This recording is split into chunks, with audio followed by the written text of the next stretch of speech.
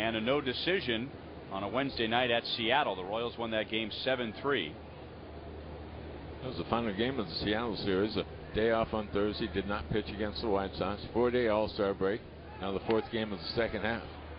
Great bunt. There is nobody on the right side. The cover man with Lewis running.